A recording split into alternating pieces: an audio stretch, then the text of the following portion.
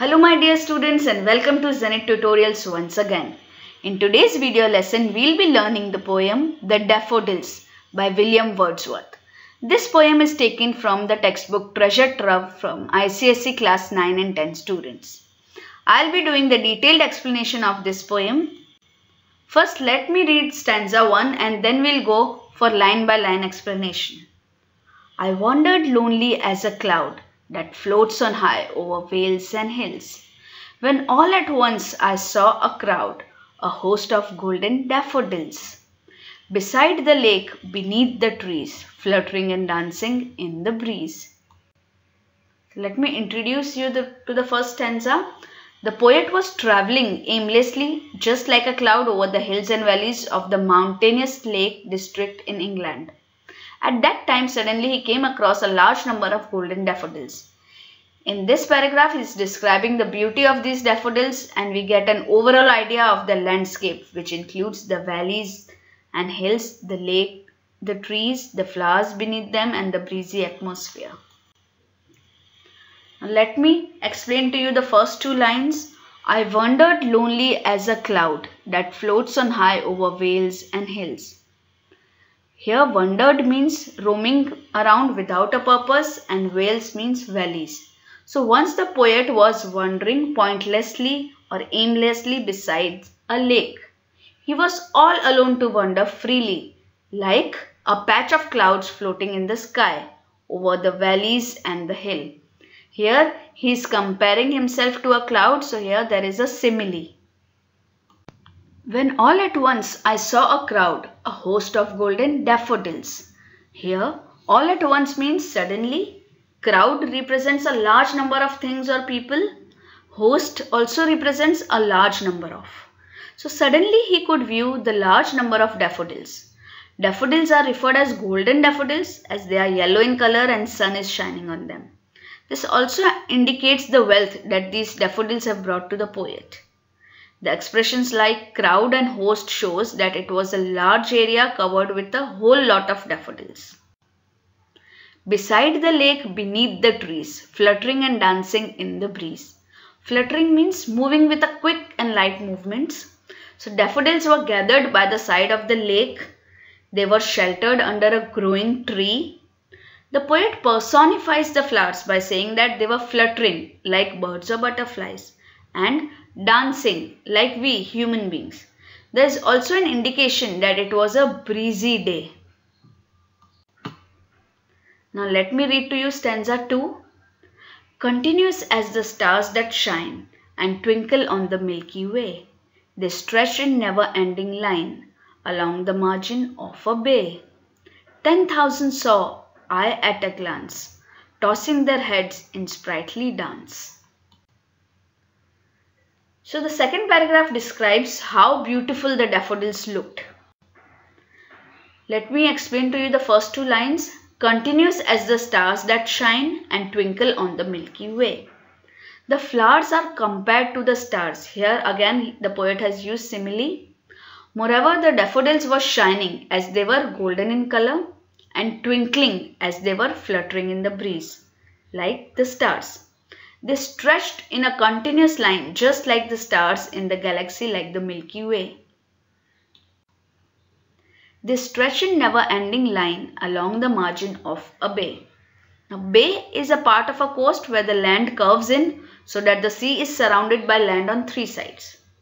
The flowers were visible as far as poet could see along the shoreline of a bay. That is why he uses the phrase never-ending line. Here, continuous and never-ending may also suggest that the flowers left an everlasting impact on him. Ten thousand saw I at a glance, tossing the heads in sprightly dance. Here tossing means moving one's head suddenly upwards and sprightly means full of life and energy. It seems that the poet was under an illusion that he was wa watching 10,000 daffodils. This type of exaggeration is called hyperbole. The poet also says that the daffodils were swaying their heads as if they were dancing in happiness. All these references of dancing and tossing heads are parts of his personification of the flowers. So here the poet has personified flowers in many forms. Stanza 3 The waves beside him danced, but they outdid the sparkling waves in glee. A poet could not but be gay in such a jocund company. I gazed and gazed, but little thought what wealth the show to me had brought. The poet goes on to describe the enchanting quality of the daffodils in this paragraph. Now let me explain to you the first two lines. The waves beside them danced, but they outdid the sparkling waves in glee. Here, glee means a strong feeling of happiness, and outdid means surpassed. So, the waves in the bay or the nearby lake were dancing and also sparkling due to sun's rays and looking gleeful, that is, very happy. But the flowers outshone, that is, outdid or surpassed the lively waves in their happiness. A poet could not but be gay in such a jocund company. Gay means light-hearted, carefree or very happy and jocund is cheerful.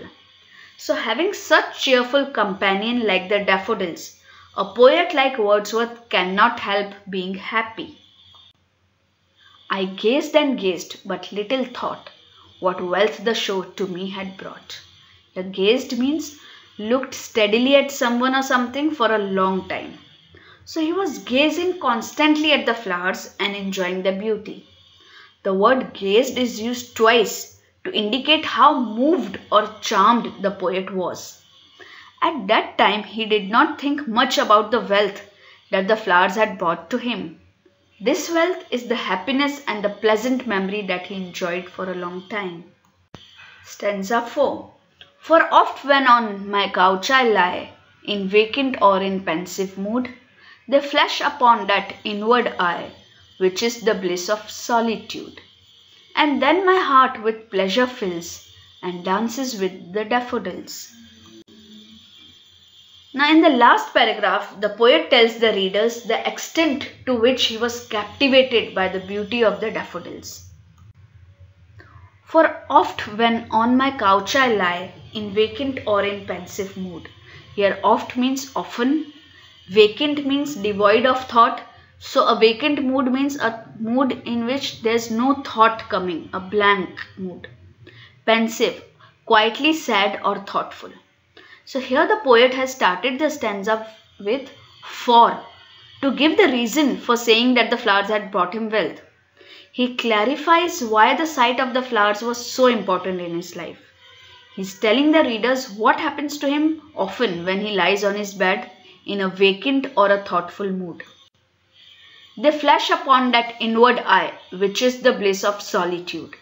Flash means a sudden brief burst of bright light Bliss is complete happiness and solitude is the state or situation of being alone.